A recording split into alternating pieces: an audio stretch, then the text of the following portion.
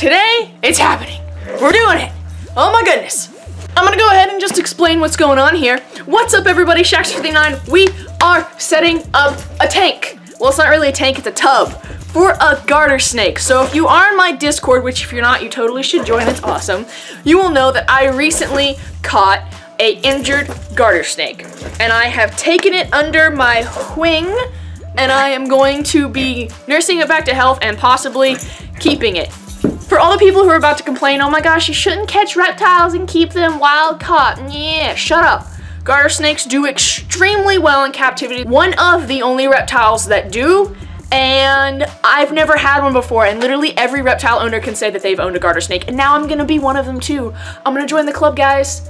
I'm gonna join the club. And today, we're setting that up because all the stuff finally came. Let's get to unboxing this before we set up the snake. Where's the knife? Did you know beavers can hold their breath for 45 minutes? Let's get to doing this.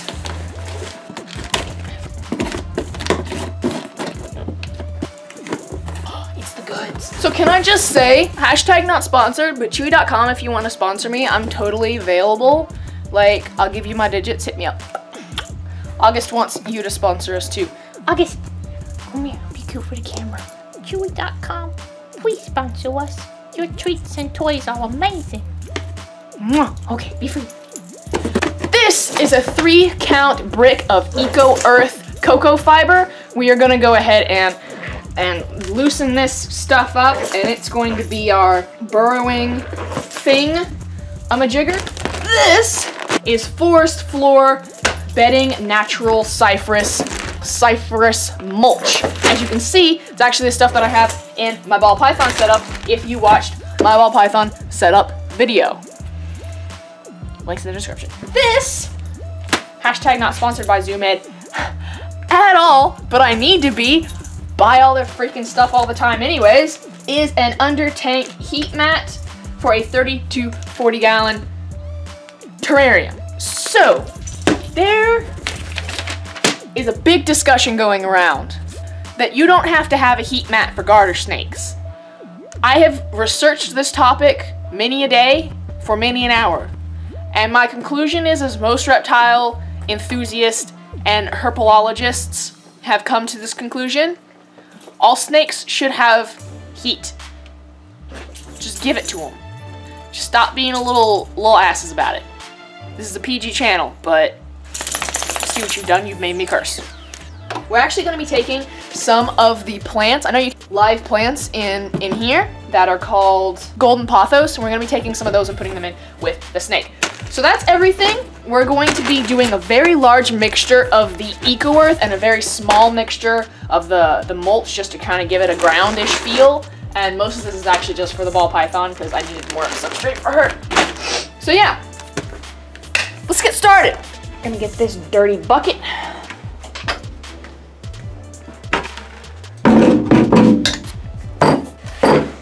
We have to mush all this up. Don't fall. Look at the size of this. See, relevance to my hand, it's not that large. It's about a size of your average small brick, right? We have three of those.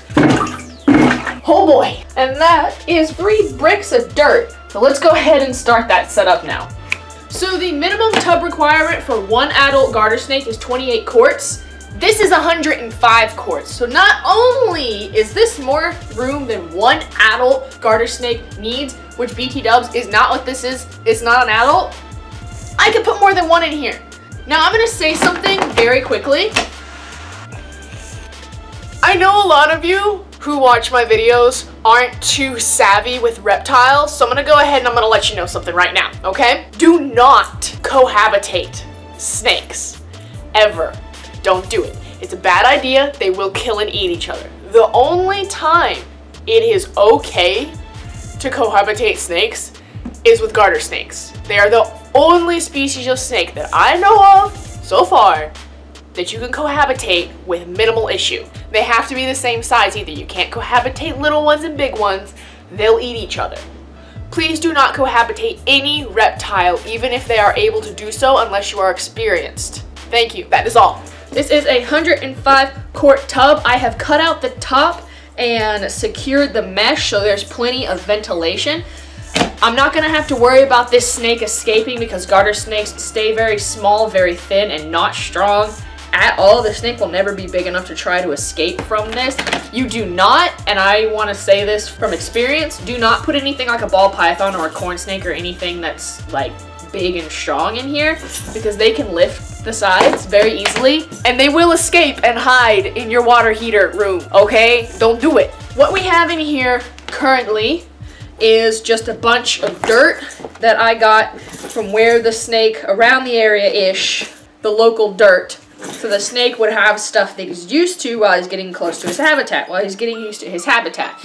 Now we're gonna go ahead and switch out the majority of this for our cocoa fiber and forest floor mix. Uh, the ornaments, not ornaments, the decorations are gonna stay because he really likes to hide in all this stuff. In fact, I'm pretty sure he's in his log right now. Yep, he's in there. There he is. Look at that. Isn't that just the coolest thing you ever did see? Isn't he cute? It's a girder snurk. Okay, so we've got this all set up. So there's actually something fun. So this one's gonna be really, really fun because we have Tupperware. Now you know garter snakes love to swim. We can't make them a giant pool, obviously, with the space that we have, but if you go to Walmart, you can get two of these really nice size Rubbermaid Tupperware. Air them out a little bit, smell like plastic. This is going to be his swimming pool and his fishing pool. And we have another one for the family.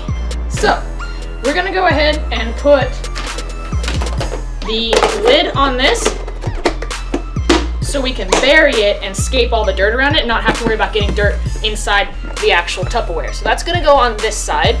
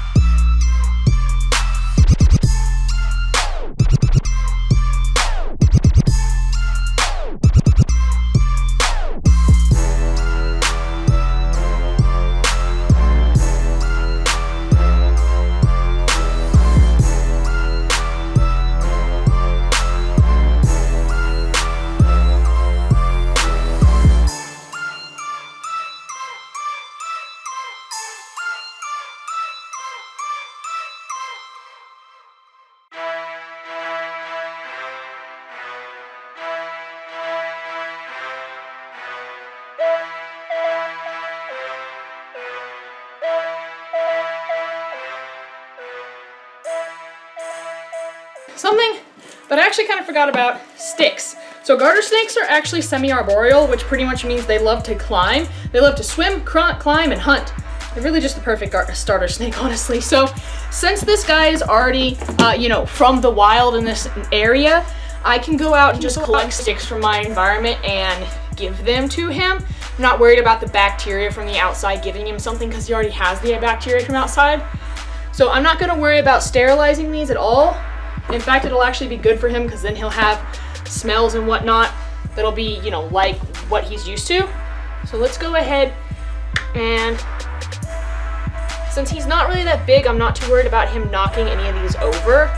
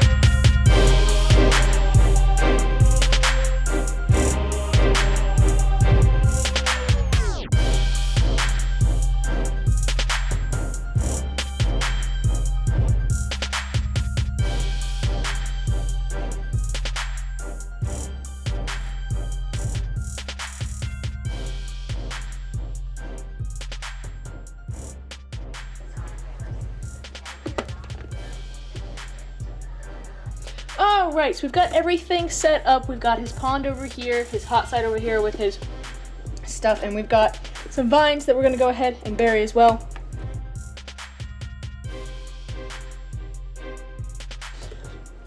Okay, go ahead and open this up. Let's get him out first. Still a little jumpy before we release him in there. Just want to show you guys him. So this is a garter snake. See, he's got the injuries. Some type of a scale rot or a bite. He's got those all over his body. He's got one back here. He's got one on his side. Yeah, he's got them all over his body. But he is uh, just a common coloration. Most of them are yellow and black. And he's a little bit dull because he's like dirty. Um, so let's go ahead hold him while we take his vines. Hey, what's up guys? So unfortunately I didn't actually record an outro. I thought I did, but I did not, and I'm too lazy to go back and do it. So I hope you all enjoyed this video and learned, uh, not a lot, but probably at least some about garter snakes. If y'all like my videos, please click subscribe and hit that bell if you'd like to be notified whenever I'm streaming. If you like to have a more in-depth conversation, this is just bad editing, gosh, about garter snakes, please come to my Discord. We'd love to have you. I hope y'all have a blessed rest of your day. And I hope you like the setup. Shacks out. Doing the finger gun thing. Whee!